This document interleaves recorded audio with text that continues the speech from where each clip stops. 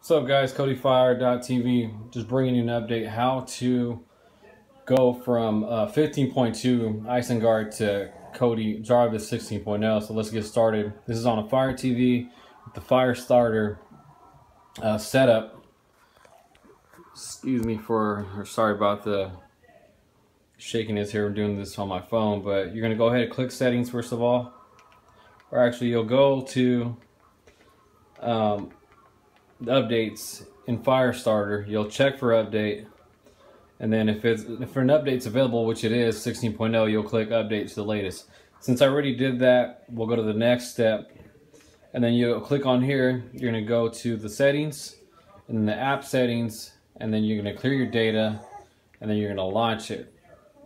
So to kind of speed things up, I already went ahead and you know did all this.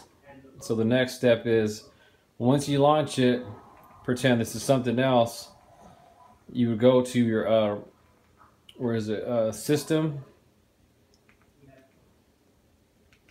You're going to go to system, file manager, and then you're going to add our source, which is right here, the Kodi, HTTP, blah, blah, blah, KodiFireBuilds.com forward slash repo.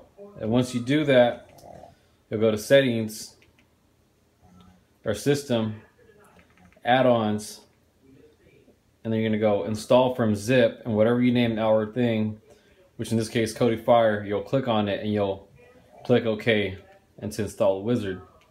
This already has been all, all installed, so we're just kind of walking through it briefly. Otherwise, you know, it'll take kind of a while to demonstrate everything, but due to time purposes, here it is. And um, you'll next go to programs and then um, it'll be in here. And then you'll launch this.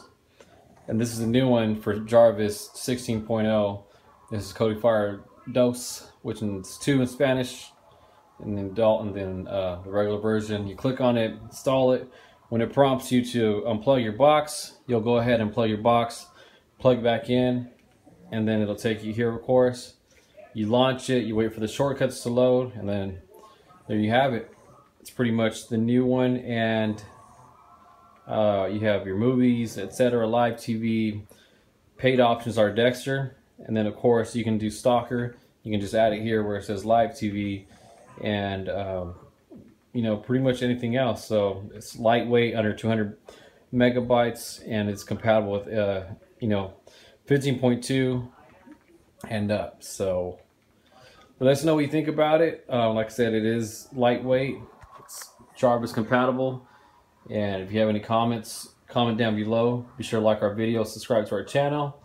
And if anything uh, you don't like about it, you know, feel free to comment also, or what would you change.